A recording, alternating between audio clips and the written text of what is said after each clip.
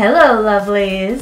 Thank you so much for being here today. Welcome back to my channel. Today's video is going to be an updated brow routine. Um, I've kind of been wanting to do this for a while.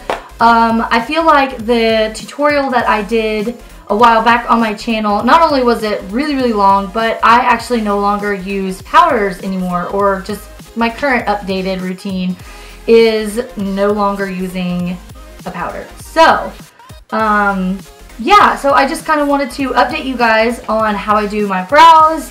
Um, I'm really, really liking how easy it is to do. And so yeah, let's get started. If you see me looking this way, it is because I have my mirror over here, so I might be like this a lot, and that's okay.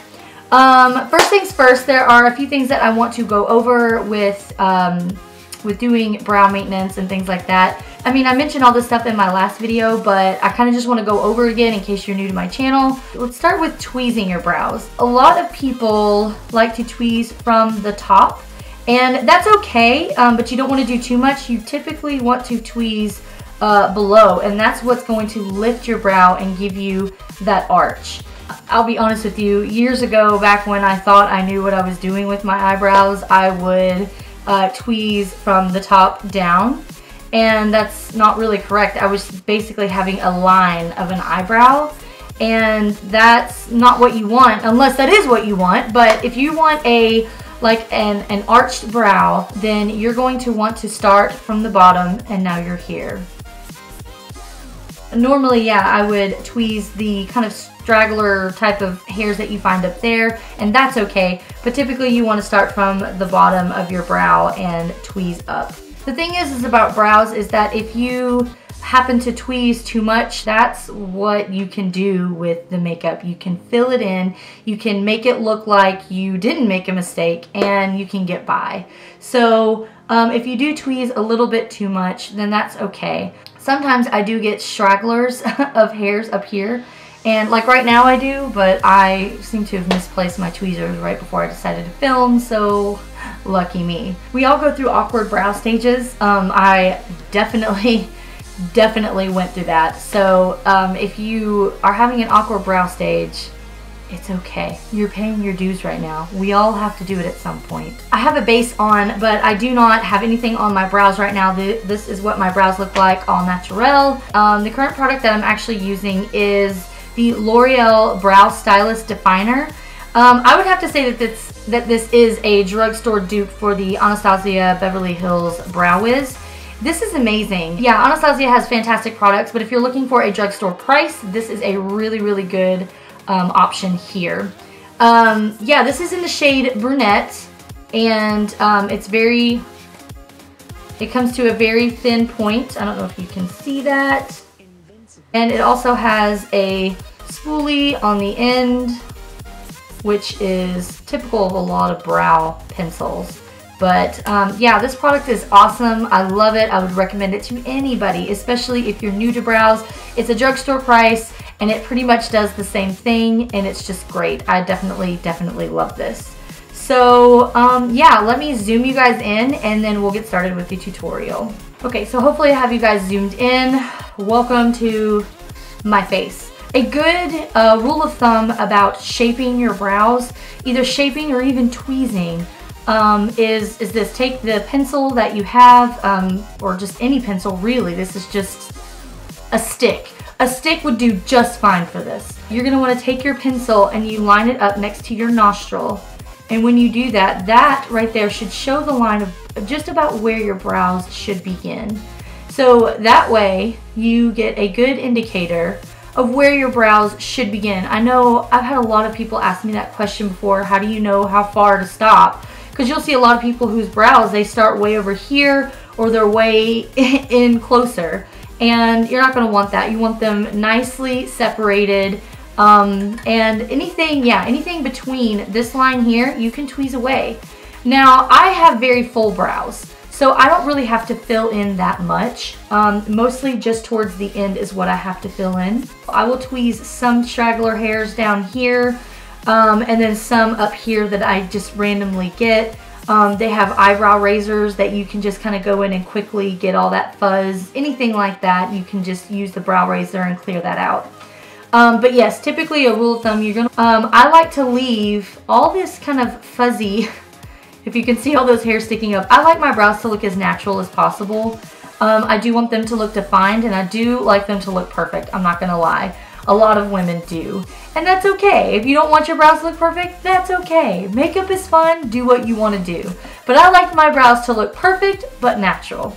So I like to keep these here and I typically don't fill those in very much at all.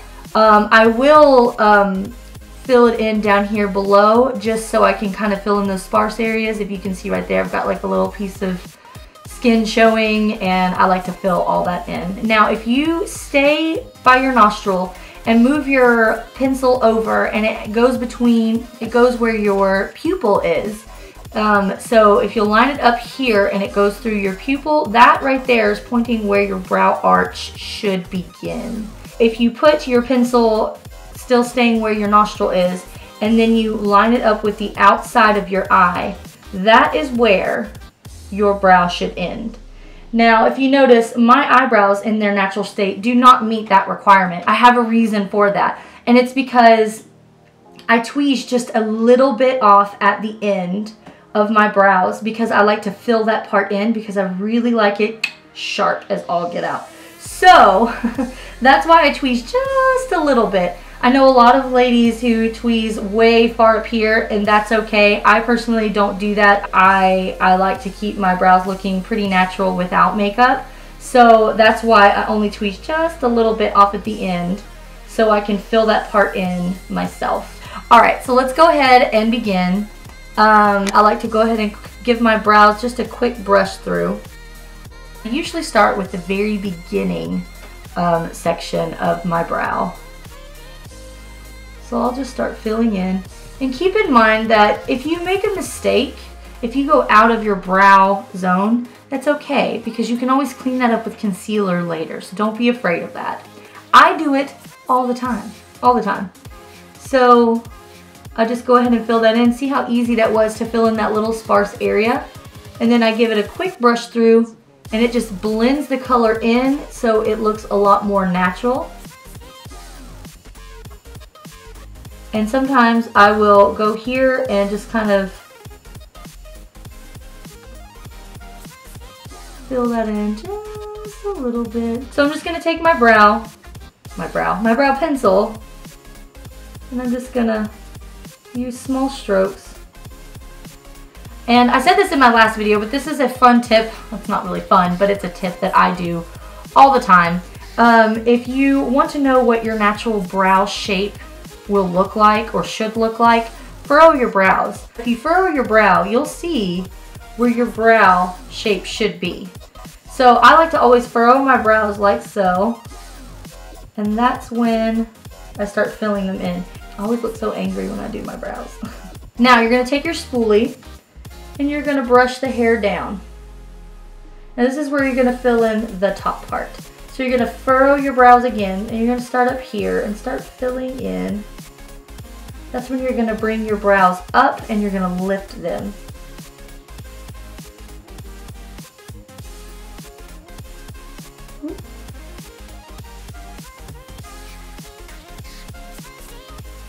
You can see the difference between my natural brow and my filled in brow. For this part, um, I like to use just a flat brush. This specific brush, um, this is a an everyday brush that I use. I got this from Coastal Scents. Um, I will link them down below if you want to check them out. Awesome products. I love their stuff. Um, they're very, very affordable. So if you're interested in Coastal Scents, I'll link that down below. No, this is not a sponsored video. I have no affiliation with them whatsoever. I just love Coastal Scents. This is the BRB S14 brush. Now, you can use any kind of concealer you want. Um, here's the, this is the Tarte Shape Tape. Um, I also have, here's the Maybelline Fit Me. These are just some of my favorite concealers. You can use e any concealer that you want to, but for me, my favorite for carving out brows ever is going to be my MAC Studio Finish Concealer. This is in the shade NW20. I love this stuff. I've had it for a long time and I use it every single day. So what you're gonna do is you're gonna wanna take your, I can do this without looking dumb. Anyway, so you're gonna take your concealer and your brush and you're just going to get a decent amount of product on there. What you're gonna do is I typically, it doesn't matter really where you start. I usually start with my arch. I don't know why that is, but everyone's different. So start wherever you want. And um, I just take this brow or this brush and I just slowly start carving out. And now you can probably start to see why and how it's okay that you make those mistakes with your brows or with your uh, with your brow pencil. This is also where you can really shape up the end, the tail end of your brow. And, uh, and it looks really sharp. I also like to go in here and sharpen this up. And so then I go back to furrowing my brows and I will use some concealer here and just shape up the top. Also, what I like to do is to set my brows. There are plenty of brands out there, drugstore wise, that offer um, blow, blow that offer brow gels. Um, but today I'm going to use to set my brow, this is the Anastasia Beverly Hills Clear Brow Gel. Um, this is just the clear one. They have a lot of ones that have tint in them. So you're putting color back into your brows if you really like that full color. But I'm just going to go with a clear brow gel because mine are pretty full as it is. So this is basically just to set your brows. It will keep your hairs down because a lot of times throughout the day your hair will just kind of go everywhere with them brows and you want to make sure that they, you know, don't do that. Um, another trick that you could do, you could go to a beauty store, maybe Sally Beauty Supply or Ulta, either one like that, and pick up some disposable spoolies. And what you can do with those is you can use those, spray a little bit of hairspray on them, and then you can use that to set your brows as well. So um, yeah, that's exactly the difference between my brow. Now I know that I, I currently don't have any makeup on except uh, my base and so I know that my brows are coming on really strong without actual makeup on. But that's okay because once I put makeup on, everything kind of balances out. Alright guys, well this is the makeup look done. Um, yeah, see I told you that even though it's a dramatic look, I told you that um, the makeup will balance out the brows. Um, but with a full face of makeup, it really just balances everything out. So yeah, I really hope that you guys enjoyed this tutorial. I hope that you find it helpful and I hope that you guys like this video. If so, please don't forget to hit that button down below and subscribe to my channel, like this video and share if you can. And I guess I'll see you guys next time. Bye!